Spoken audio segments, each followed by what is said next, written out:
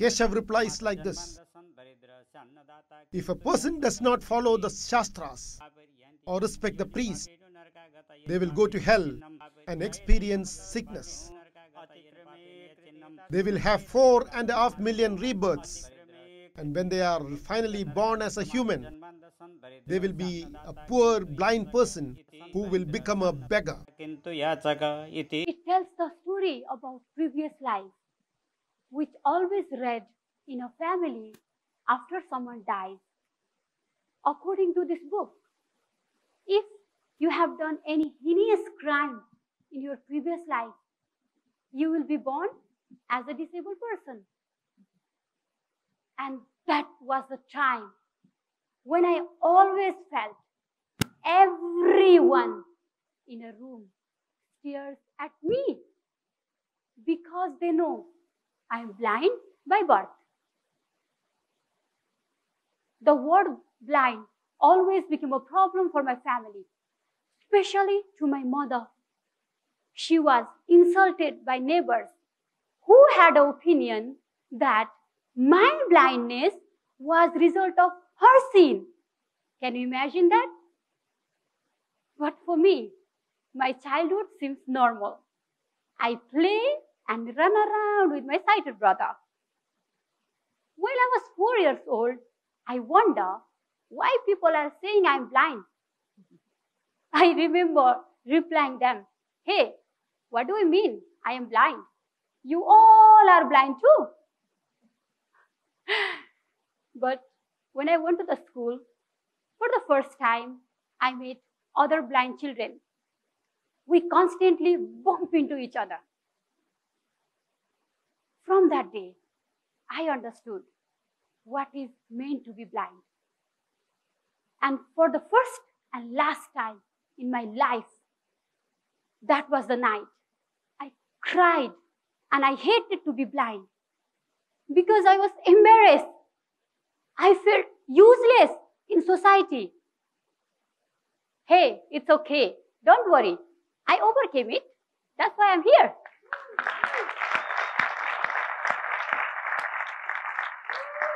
But I think I need to tell you one more thing what I experienced. So, what I people started praising me for little little things. For example, when I walk, they were like, "Wow, you are so amazing! You can walk." Obviously, I have no problem in my leg. I can walk. Oh my God, you can talk so confidently. Yeah, sure. Why not? Hmm, even you can eat by yourself. Hey, look at this amazing lady. She's pouring a glass of water by herself. How amazing she is. And this annoyed me a lot. So I became a rebel. You can feel from my voice, right? so I started to participate in political and social activities. I represented Student Union of Communist Party. And it's not because I'm blind, it's because I was capable. And I also work in a radio as a radio jockey. But can I tell you one thing? Wait, wait, you need to clap later. okay, so when people recognize me, I am a radio jockey. You know what they said? Oh, really? But you don't sound like you are blind. hmm, tell me how blind sound like. But anyway, let me tell you the truth. In Nepal, blind people are considered to be a teacher, receptionist, musician, or even a beggar. I know it's similar in India, right? I was also fell in a same trap because I was Nepali and I'm blind too. So I gave Teacher Service Commission exam to become a government certified teacher. And I passed the exam. In the same time, I got a Fulbright scholarship to go to the USA. My choice was clear. Being a teacher means staying in my comfort zone. But for me, I always wanted to live my life independently. Obviously, I decided to go to the USA.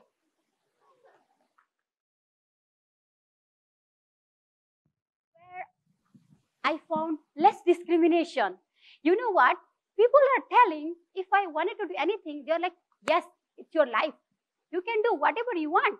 It's your choice. Then I started to do lots of adventures such as ice skating, sledding, rock climbing, swimming, even riding a bicycle. Wow. And you know, I often went shopping with my American friends where they always asked my opinion, whatever they wanted to buy. I was taken seriously. And you know, they often invited me to their house to cook Nepali food for them. I'm telling the truth. Trust me. And there I don't feel any stereotype that blind cannot cook. I was so happy. And that was the food which connected me with many, many friends. From that day, I started to think, hey, let's make this change in my own country too. So now I came with the idea of tick bites.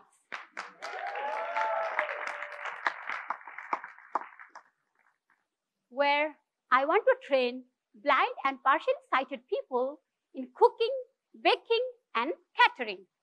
I know you are thinking, but how? Simple, like you do. I also learned how to operate with the gas stove, how to stir and sizzle the food, just like you, right? Nothing is impossible. So, they will not only learning cooking and catering, but they will also be learning marketing, packaging, purchasing, all those things which will make them independent. And the last day of the training, I want to invite professional cook. I know we have today also. And several guests from outside like you who will come, try out and evaluate our participant and they will try out the food made by our friends. After that, our blind friend will be delivering those food to the offices for our hungry customer. So let's see how these tick tick bites work.